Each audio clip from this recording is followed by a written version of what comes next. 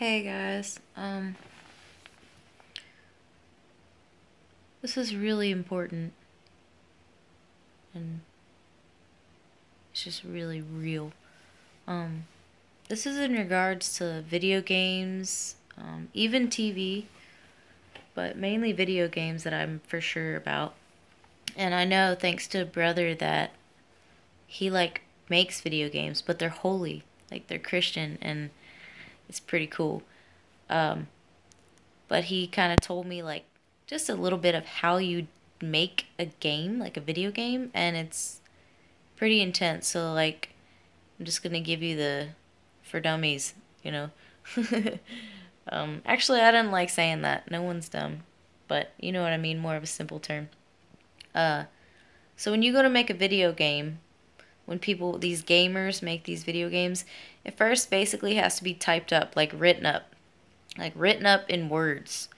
You basically type out all you want what's going on what happens. It's like you basically type out a story. And that's the format.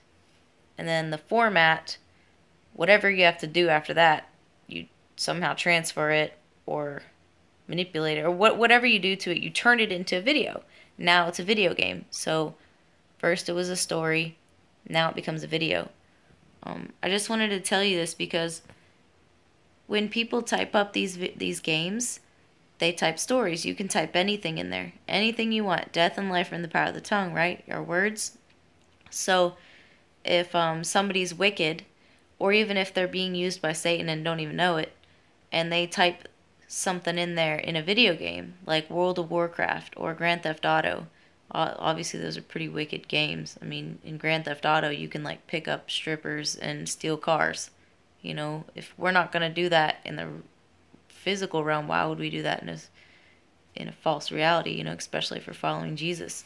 You know, we are actually committing those acts in God's eyes. So, in these games, people can type in the beginning. They can literally type a prayer they can type an incantation.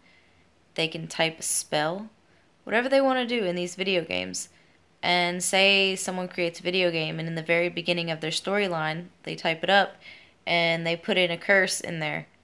And the curse has to do with addiction or sickness or whatever it is. Evil people are real and there are Satanists in the world.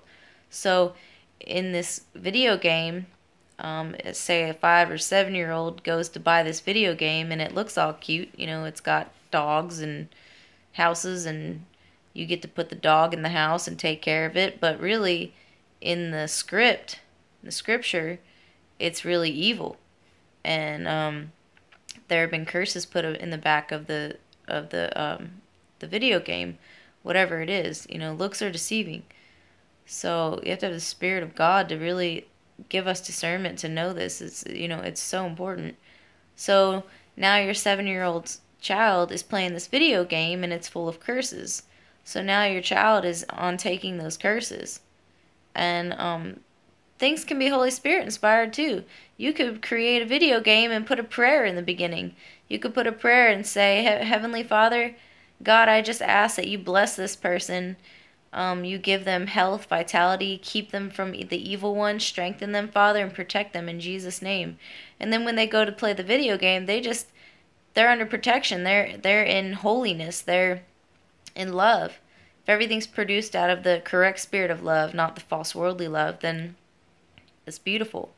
But this is just that's really all I wanted to say. I wanted everyone to realize like that opened my eyes pretty big to just be like, wow, you know, there's witchcraft and spells in video games because it's all about typing. And this is why most people kill people because they practice shooting people when they're kids shooting people in video games and their parents give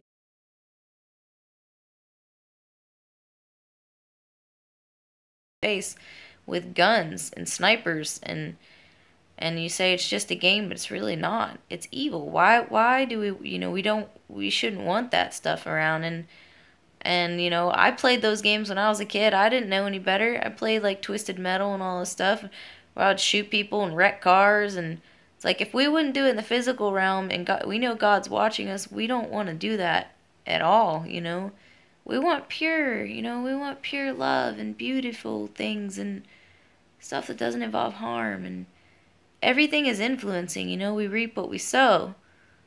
So if we're always reaping and, and doing stuff that involves that kind of stuff, we're gonna reap you know, we're gonna reap that. But that's pretty much it. Just take that into consideration and, and meditate on it and seek the Lord about it because there's so much evil and it's so silent that we we think it's harmless, but it's super detrimental, you know. Um, yeah. May the Lord bless you.